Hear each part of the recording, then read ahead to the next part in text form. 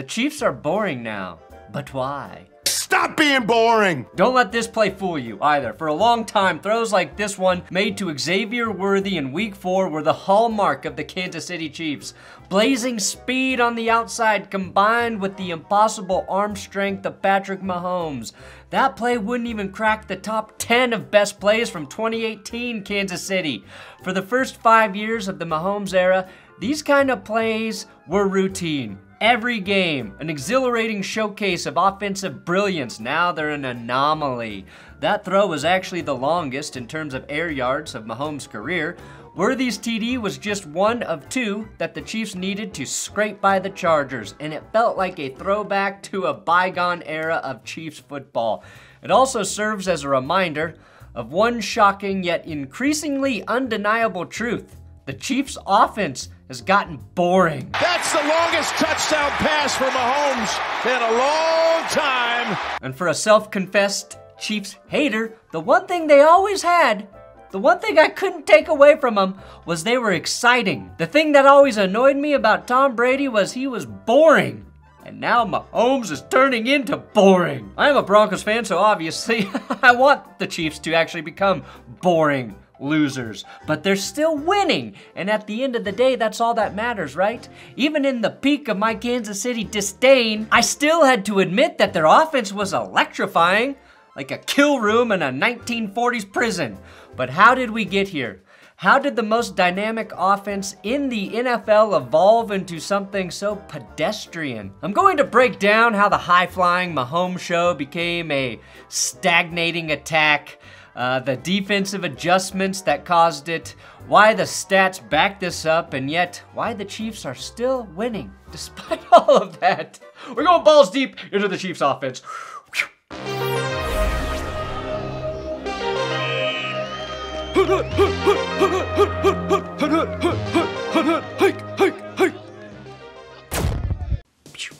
Do a sub, and just know today's episode is sponsored by manscaped.com slash goodsports and their brand new full-fledged face and neck shaver, the Chairman Pro. This bad boy is elite as it features a 360 degree contouring head. Like that girl from The Exorcist. Great reference for the month of Halloween, eh guys? Eh? The Chairman Pro is not possessed by the devil, though. That is guaranteed.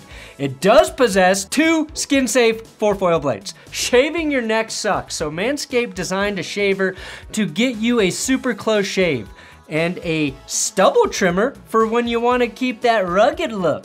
Both blade options are designed to reduce razor burn and irritation, and like a good offensive coordinator, the blades pivot and flex to adjust to the contours of your face and neck. Plus, it's waterproof, so you can shave that neck in the shower. So, if you're looking to elevate your grooming routine, the Chairman Pro is the ultimate tool for the job. With its advanced features and Manscaped's trusted quality, you're going to love the way you look and feel. So, just use my link below, manscaped.com slash goodsports, for 20% off your order and free shipping.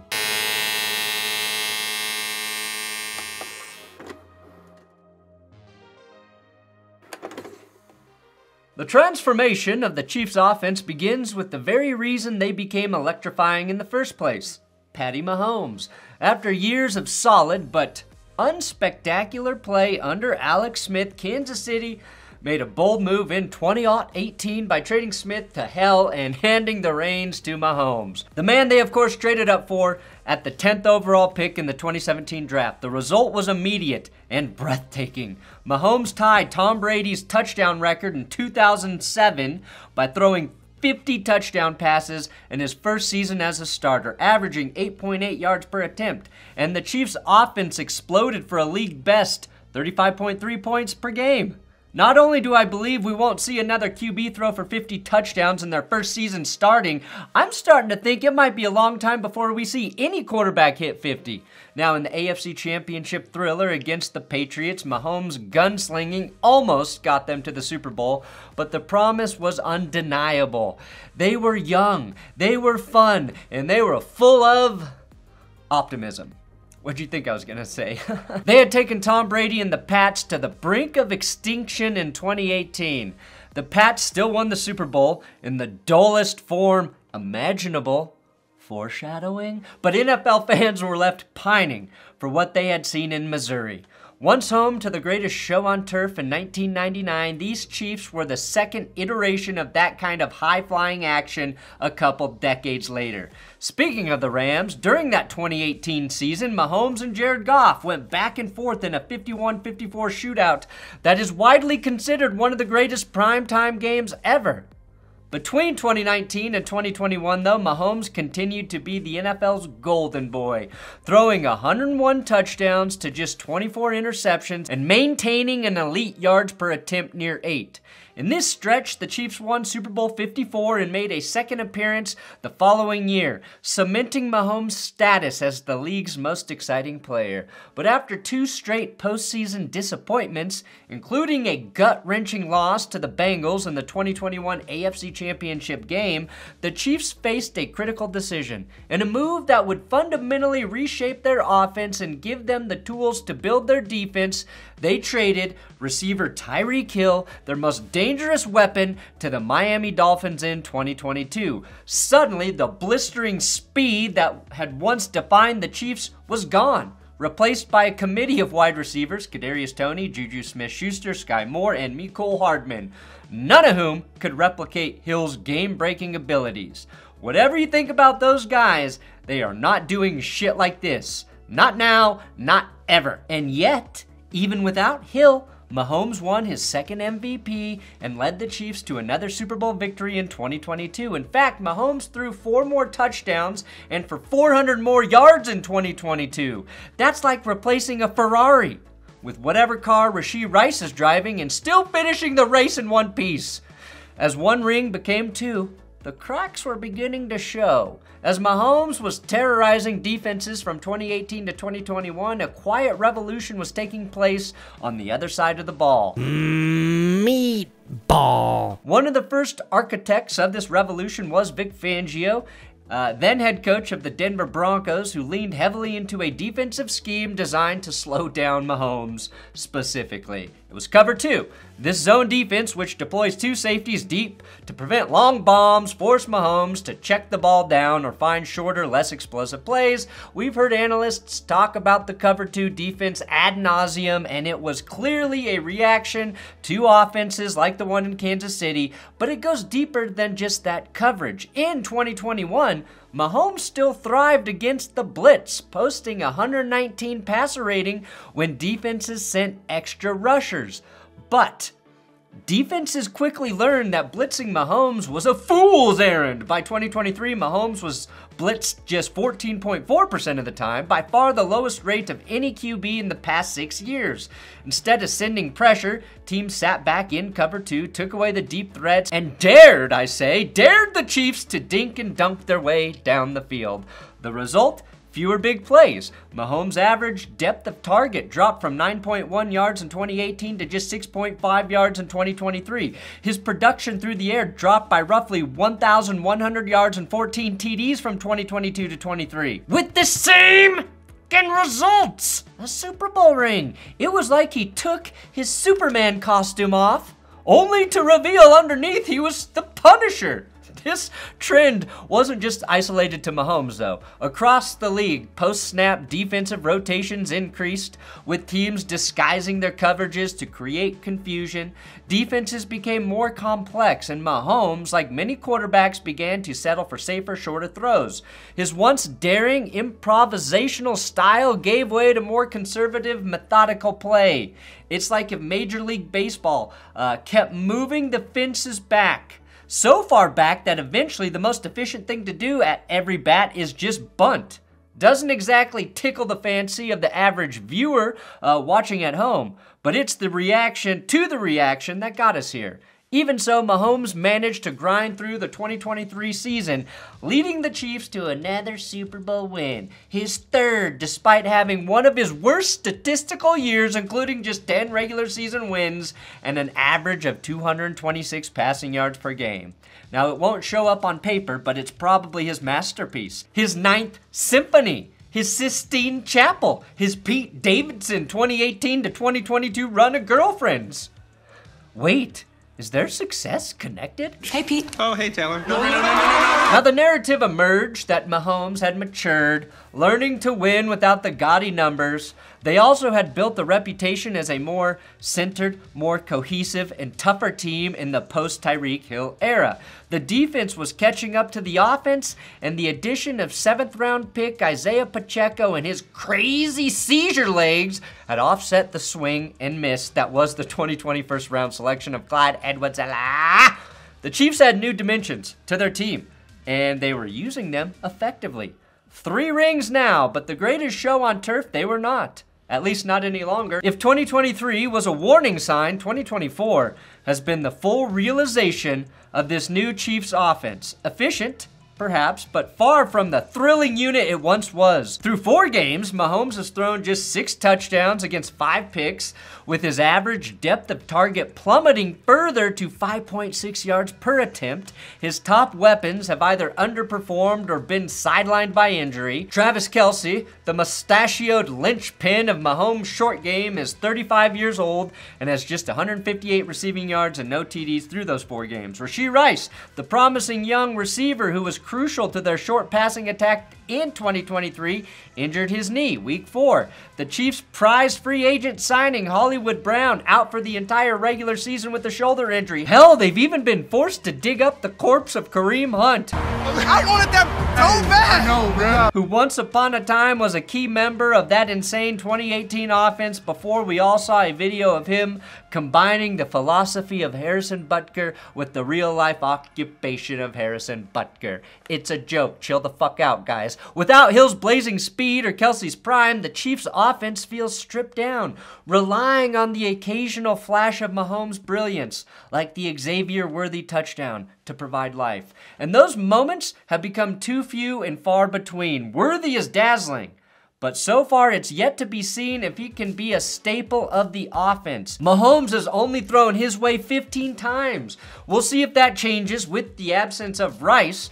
One major key to the past success has been their good health in Kansas City, right? They remained one of the healthiest teams in the league in each of their Super Bowl winning seasons.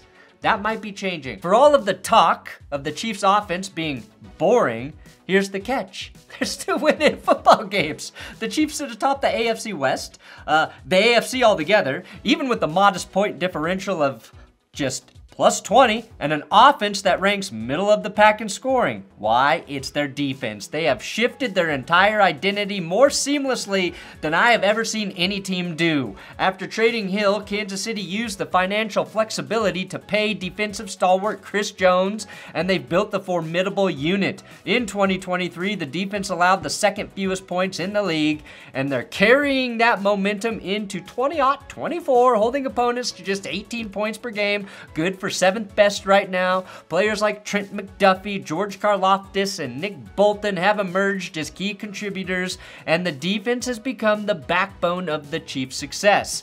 And when they weren't adding defenders through the draft, they were using their picks and cap space to build the offensive line. A clear reaction to the atrocities that Tampa put them through in Super Bowl 55.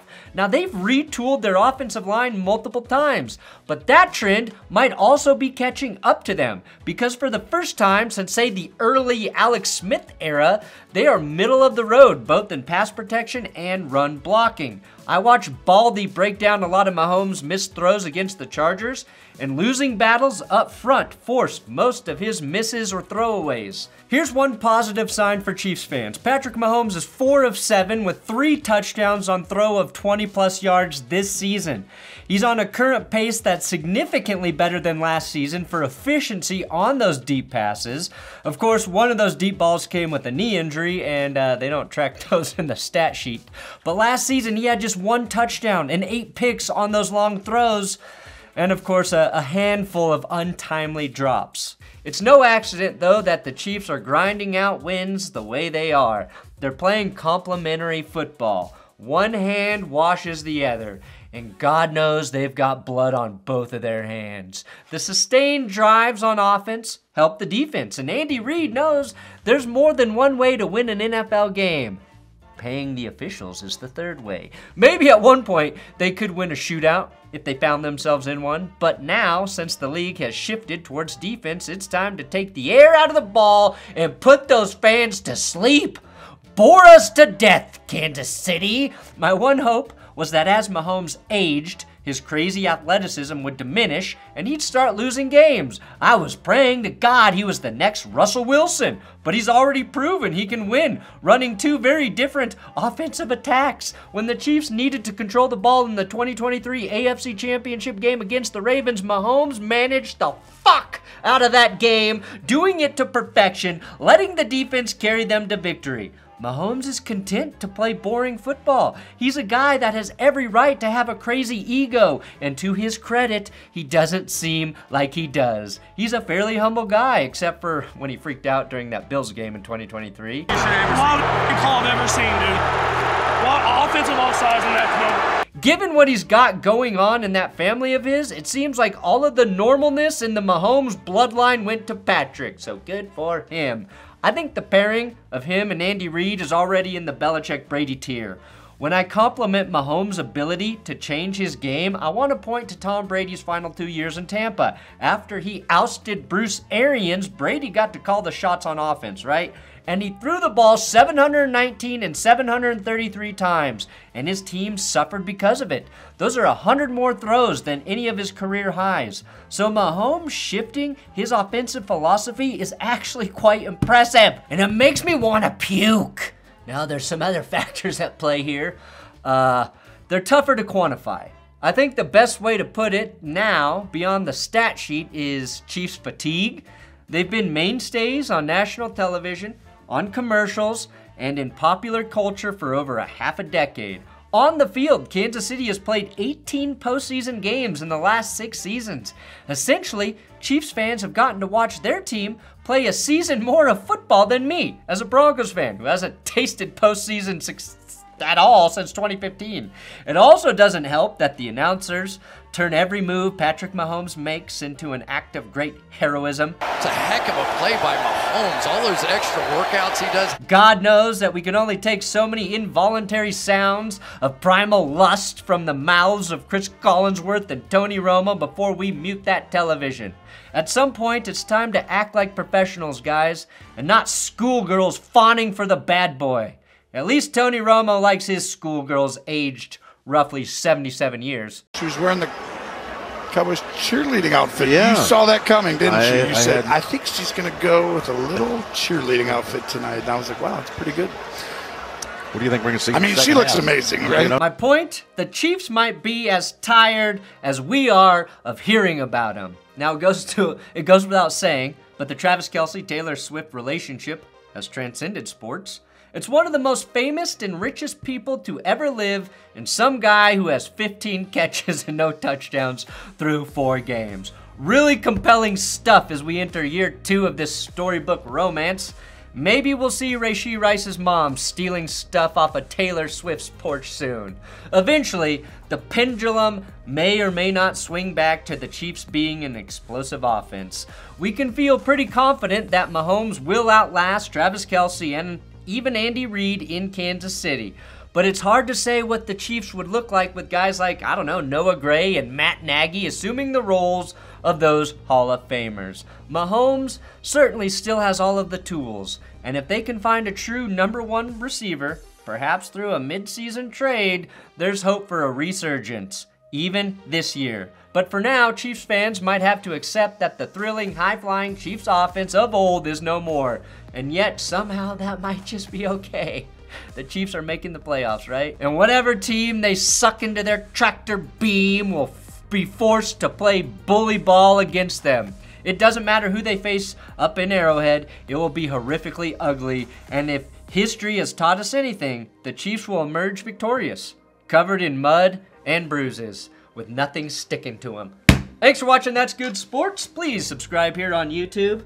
I'm the only person who can talk about my enemy with fairness. God, I'm so fair and balanced. How messed up is sports media that you gotta come to me for a fair take on God's taint of a football team?